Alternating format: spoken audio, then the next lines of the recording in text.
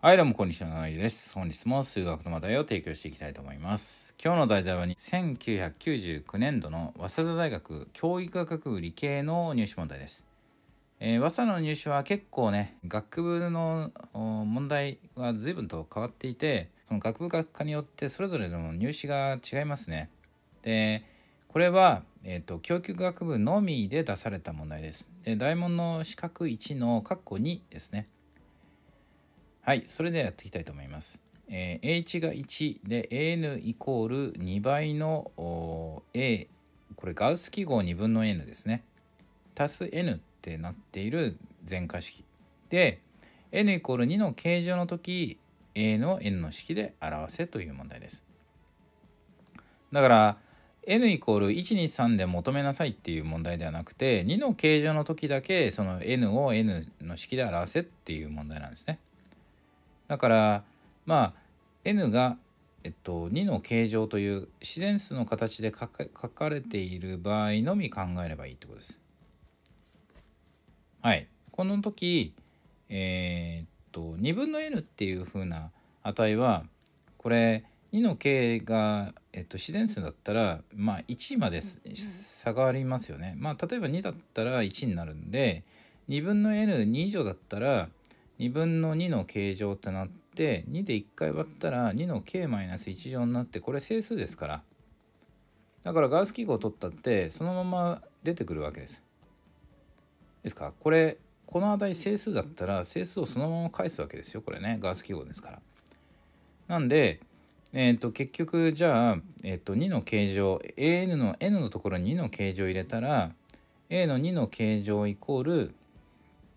2倍の a の、えー、2の k-1 乗ってなります。で n 足すんですから2の形状ですよね。まあだからこんな全化式ができるわけですけどえっ、とこれを一つの全化式としてみましょう。えっ、とそうするとこのタイプはまあここにその一つ前が来てますよね。だから bn イコール2倍の bn 足すえー、2の形状みたいな形になっているのでこれはえー、っと bk を2の形状って置きましょうか。えー、っと b の k イコール bk イコール b の2倍の2倍の b の k-1 項ですね。プラス2の形状という形になって指数型になりますよね。だからこのタイプは2の k 足す1乗で割ってあげるっていう定石があるので2のまあ an 足す1とかだったら bn 足す1とかだったら k 足す1乗で割るけれども、えーと、b の k になってるので形状で割ってありましょう。そうするとここは1個消えて2が消えてうまく bk-1 になってプラス1ってなりますね。そうするとこれの次の数列はこれになるのでつまりこれの解差数列が、えーと1っていうことはまあ、要するに2の形状という分の b の k っていうのをこの数列は、えー、交差1の等差数列ってことですね。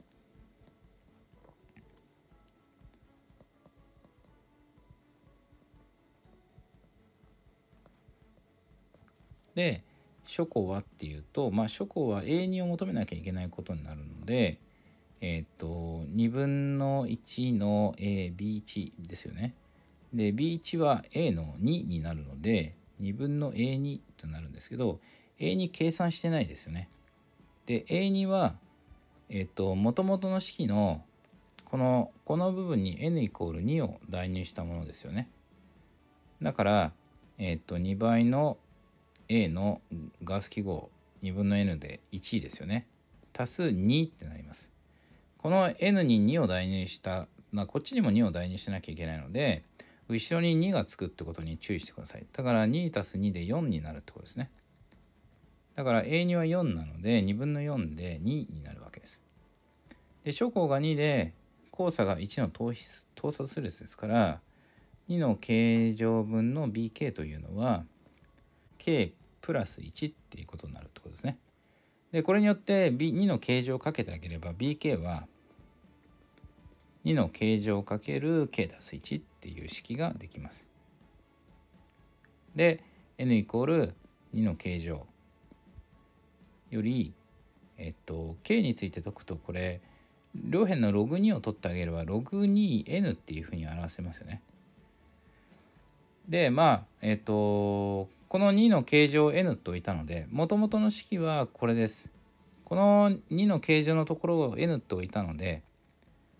えっと an ですね今 n の n イコール2の形状ってなってるので、まあ、an イコール bk っていうふうに k をちょっと、うん、中間に挟んだわけですけど元に戻します。そうするとこの k イコール log2n っていう式をここに代入することになるんですよ。というわけで a のえっと a の n イコール bk という式であって bk は2の形状ですけど k のところに log2n が入るわけです。log2n が入って括弧 k のところは log2n ですね。足す1ってなります。で log2n は2のべきのところに入ってたらこれは素直に降りてきますよね。N×log2n 足す1ってなってこれが n の式になるのでこれが答えです。でこの式は n イコール1に対しても成立してますね。まあこれは確認すべきですけれども、えー、これはまあ n イコール1でも成立。まあチェックはすべきですので、えー、チェックした方がいいですね。この式ですね。で答えが終わるというわけです。はい、まあ典型問題かって言われるとそうではないかなと思いますけれども、えー、少し考えてね、えー、っと2の n 2分の n を取っても結局2の形状だったら、えー、1個その2の k-1 乗になってそれが整数になるっていうだけですからいつでもここの部分のガウス記号は別にその、え、これを考えている以上2の形状を考えている以上整数になるに決まってるので、まあ、余計ななんか場合分けみたいなのが生じないところがまあラッキーなところですかね。うんまあ見た目はねなんか場合分けしなきゃいけないのかなっていう気になりますけどね実際のところそうではないっていう割とシンプルな問題だと思います。もちろんこういうところでねその定石のえっ、とこれは例えば2の k たす1もしくは2の形状で割るっていうような操作通常のその指数型の全化式の解き方なんかは、入ってないともちろん解けないと思います。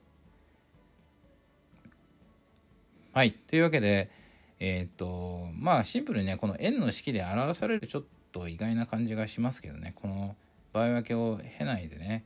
n×log2n 足す1という形で表せるのが、えー、少し意外な感じがしますけど、まあそういう問題ということで、えー、1999年度の早稲田大学の入試問題でした。